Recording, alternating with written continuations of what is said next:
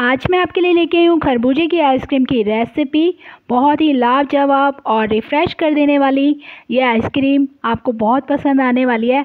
Ice creams तो आपने बहुत खाई होंगी। गर्मियाँ आते ही हम अलग अलग तरह की आइसक्रीम टेस्ट करते हैं। एक बार अगर आपने ये खरबूजे की आइसक्रीम टेस्ट कर ली तो आप इसके फ़ैन होने वाले हैं और बिना किसी प्रिजर्वेटिव के मार्केट जैसी आइसक्रीम आप घर पर बनाकर तैयार कर सकते हैं। वो भी बहुत आसानी के साथ। तो चलिए जल्दी से बनाते हैं muskmelon ice cream. Hello everyone welcome to my channel अभी तक अगर आपने मेरे चैनल को सब्सक्राइब नहीं किया है तो कर लीजिए और बेल आइकन को भी प्रेस कर लीजिए। खरबूजे की आइसक्रीम बनाने के लिए यहाँ पर मैंने लिया है खरबूजा। मैंने ये वाइट वाला खरबूजा लिया है। एक लाइनिंग वाला खरबूजा आता है, या हल्का सा ग्रीन कलर का आता है, वो भी आप ले सकते हैं। बस मीठा होना चाहिए खरबूजा। ये वाला खरबूजा जो है वेट में अगर देखेंगे तो 500 ग्राम है। तो खरबूजे को सबसे पहले मैंने धो लिया था अच्छे से। अब इसको मैं कट कर लेती हूँ। तो इस तरह से बीच में से मैंने दो पीसेस में इसको कट कर लिया है। क्योंकि इसके सीड्स जो है, हमें अलग करने हैं और इसके पीसेज हमने बनाकर अलग से ग्राइंडर में डालकर इसकी प्यूरी तैयार करनी है। तो यहाँ पर देखिए, दो पीसेस में मैंने पहले इसको कट कर लिया है। और ये जो इसके सीड्स हैं, ये भी आपको वेस्ट नहीं करने हैं। बहुत अच्छी ग्रेवी तैयार करने में काम आते हैं। जिस तरह से हम काजू का पेस्ट बनाते हैं, उसी तरह आप इसका पेस्ट बनाकर भी किसी भी ग्रेवी में डालेंगे तो आपकी ग्रेवी का जो टेस्ट है, वो बहुत ही बढ़िया हो जाएगा। तो इस तरह से इसको निकाल लीजिए स्पून से और रख लीजिए और इसको किसी छन्नी में डालकर अच्छे से धोकर और इसको मिक्सर ग्राइंडर में डालकर पीस कर इसका पेस्ट बना सकते हैं। और छान कर उसको किसी भी ग्रेवी में यूज़ कर सकते हैं। तो इसको हम वेस्ट नहीं करेंगे। और यहाँ पर देखिए मैंने खरबूजों को अच्छे से बीज निकाल कर रख लिया है। अब इनके मेरे को छिलके निकालने हैं।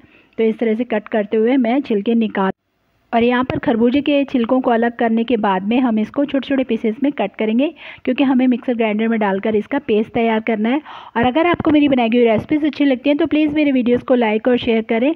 और मेरे चैनल पर पहली बार है तो चैनल को सब्सक्राइब करके बेलाइकन को प्रेस करना ना भूलें। तो यहाँ देख सकते हैं आप, छिलके मैंने हटा दिए हैं खरबूजे के, और इस तरह से इसको छोटे छोटे टुकड़ों में मैं कट करके रख लूँगी। यहाँ पर मैंने पूरे खरबूजे को यूज़ किया है आइसक्रीम बनाने के लिए। बहुत छोटा खरबूजा लिया था मैंने। तो आप अपनी फैमिली के अकॉर्डिंगली क्वांटिटी को कम या ज़्यादा कर सकते हैं। तो यहाँ पीसेज मैंने कट कर लिए हैं। अब इनको मैं मिक्सर जार में डालकर इसकी पेस्ट तैयार कर लूँगी। तो यहाँ पर देखिए, मैंने इसकी पेस्ट भी तैयार कर लिया है मिक्सर ग्राइंडर जार में डालकर। इसको पेस्ट तैयार कर लेना, बिना किसी पानी डाले। खाली आपको सिर्फ़ खरबूजे को ग्राइंड करना है, पानी नहीं यूज़ करना है। तो यहाँ इस पेस्ट को हम निकाल कर अलग से बर्तन में रख लेते हैं। तो आप देख रहे होंगे कि खरबूजे का जो कलर है, वो बहुत हल्का है। हमें हल्का सा ऑरेंज कलर चाहिए। लाइट सा जैसे पीच कलर का होता है खरबूजे का कलर अंदर से। इसलिए यहाँ पर मैंने फ़ूड कलर का इस्तेमाल किया है ऑरेंज फ़ूड कलर इस्तेमाल किया है यहाँ पर मैंने। और उसको डालकर आप देखिए कितना प्यारा सा कलर आ गया है। और ये बिल्कुल ऑप्शनल है, अगर आप कलर नहीं यूज़ करना चाहते तो आप मत डालिए। तो इस तरह से कलर डालकर आपको अच्छे से मिक्स कर लेना है खरबूजे की पेस्ट को। और इसको हम अलग रख लेते हैं। अभी बनाते हैं हम आइसक्रीम का बेस तो यहाँ पर ले लिया है मैंने एक मोटे तले का बर्तन। मोटे तले का बर्तन इसलिए लिया है कि आपकी जो बेस आप तैयार कर रहे हैं, वो तले में जाकर चिपके ना और आइसक्रीम का टेस्ट ना ख़राब हो। तो यहाँ पर मैंने ले लिया एक कप दूध। ये आधा कप का मेज़रमेंट है। तो आधा आधा कप करके मैंने दो बार डाला है। तो एक कप दूध हो गया मतलब टू फिफ्टी मैंने दूध लिया है यहाँ पर। उसमें डाल रही हूँ मैं तीन बड़े चम्मच कॉर्नफ्लावर यहाँ पर देखिए, दूध अभी जो है ठंडा है, इसलिए मैंने कॉर्नफ्लावर को अभी इसमें ही मिक्स कर दिया है, क्योंकि अभी हमने गैस पर नहीं चढ़ाया है। इसके बाद में हम इसको गैस पर चढ़ाकर कुक करेंगे। और कॉर्नफ्लावर डालने के बाद में अच्छे से मिक्स कर लेना है हमें। कॉर्नफ्लावर जब भी दूध में डालें तो दूध को ठंडा ही होना चाहिए। उसी समय पर हमें कॉर्नफ्लावर ऐड करना चाहिए। और यहाँ पर साथ में ही ऐड कर रही हूँ मैं चार छोटे चम्मच चीनी के। और चीनी को भी अच्छे से मिक्स कर लेते हैं। और इसके बाद में हम इसको कुक करेंगे गैस पर। और इसको हमने एक गाढ़ा मिश्रण तैयार करना है। तो अब इसको मैंने चढ़ा दिया है गैस पर। गैस इस समय पर बिल्कुल स्लो रखी हुई है। स्लो गैस पर ही आपको इसको कुक करना है। सिर्फ़ तीन से चार मिनट लगते हैं। इस मिश्रण को गाढ़ा होने में और आपको चम्मच जो है वो चलाते रहना है। गैस को बिल्कुल मीडियम हीट पे रखना है, बिल्कुल हाई नहीं करना है और इसको इस तरह से चलाते हुए आपको इसको गाढ़ा करके पका लेना है। तो ये देखिए मिश्रण हमारा बिल्कुल तैयार हो गया है। इसको बिल्कुल भी तले में चिपकने नहीं देना है। अगर ये तले में चिपक गया तो आपकी आइसक्रीम का टेस्ट जो है वो ख़राब हो जाएगा। तो यहाँ पर मिश्रण तैयार है, इसको ठंडा होने रख देते हैं। और जब तक तैयार करते हैं हम आइसक्रीम का सेकंड बेस, ये है विपिंग क्रीम।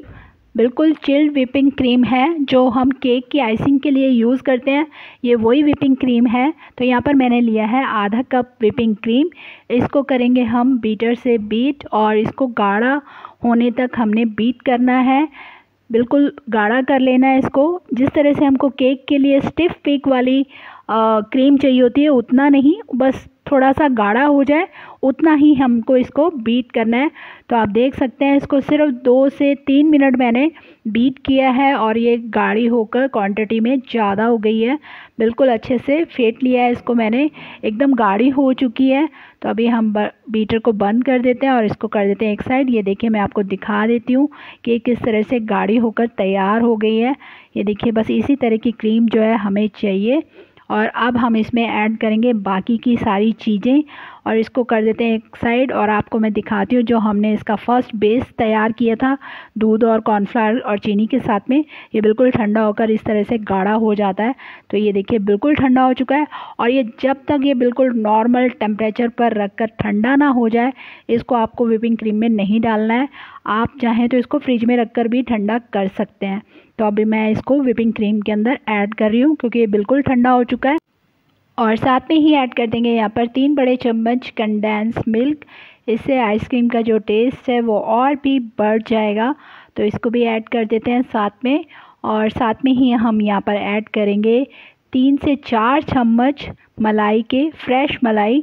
मलाई की जगह आप फ्रेश क्रीम जो आती है उसका भी आप यूज़ कर सकते हैं, पर मैंने यहाँ पर घर की बनी हुई ही मलाई यूज़ की है। अब इन सारी चीज़ों को एक बार फिर से इलेक्ट्रिक बीटर से बीट कर सकते हैं। अगर आपके पास इलेक्ट्रिक बीटर नहीं है तो आप विस्कर की हेल्प से अच्छे से सारी चीज़ों को बीट कर सकते हैं और सारे मिश्रण को जो है वो तैयार कर सकते हैं आइसक्रीम के। तो यहाँ पर आप देख सकते हैं कि सारा मिश्रण जो है वो अच्छे से मिक्स हो गया है। बीटर को मैंने बंद कर दिया है। अब इसमें मैं ऐड कर रही हूँ खरबूजे का जो हमने पेस्ट तैयार करके रखा था, उसको ऐड कर देना इस मिश्रण में और अच्छे से मिक्स कर लेंगे।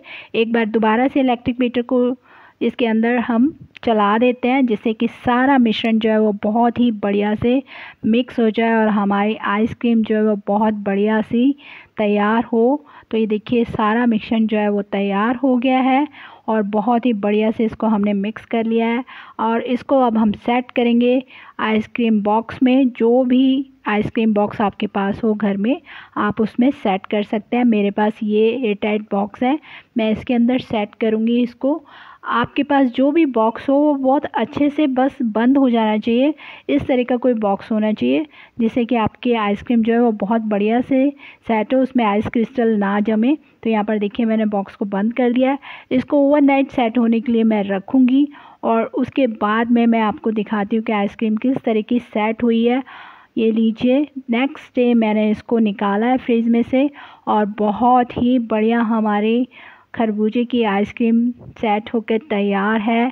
बहुत ही टेस्टी ये आइसक्रीम बनती है। बिना किसी प्रिजर्वेटिव के मार्केट जैसी आइसक्रीम्स आप घर में तैयार कर सकते हैं। तो अब आता है इसको सर्विंग करने का टाइम। तो ये देखिए, यहाँ पर इसको कर लिया मैंने सर्व आइसक्रीम बाउल्स में। फटाफट से इस तरह से सर्व कीजिए। ऊपर से थोड़े से ड्राई फ्रूट से गार्निश कीजिए। और बिल्कुल माँ की जैसी आइसक्रीम आपकी तैयार हो गई है। आइसक्रीम की बहुत सारी रेसिपीज़ आपको मैंने दी हुई है मेरे चैनल पर। अगर आपने नहीं देखी है तो उनको भी जाकर ज़रूर देखेगा आपको बहुत पसंद आएँगी। तो लीजिए, हमारी खरबूजे की आइसक्रीम तैयार हो गई है। इसको थोड़ा सा मैंने प्लेट में भी सर्व किया है। यहाँ पर मैंने थोड़ा सा टूटी फूटी भी ऐड किया है इसमें। और बहुत ही सॉफ्ट आइसक्रीम बनकर तैयार हुई है। तो लीजिए, आप सबकी तरफ़ से मैंने इसको टेस्ट कर लिया है। बहुत ही रिफ़्रेशिंग टेस्ट है। अब आपको इस समर्स में इस आइसक्रीम को बनाकर ज़रूर ट्राई करना है और अपने एक्सपीरियंस को मेरे साथ कमेंट बॉक्स में ज़रूर शेयर करना है। मैं इसी तरह आपके लिए नई नई रेसिपीज़ लेकर आती रहती हूँ और आप मुझे इंस्टाग्राम और फेसबुक पर भी फॉलो कर सकते हैं। Thank you for watching my video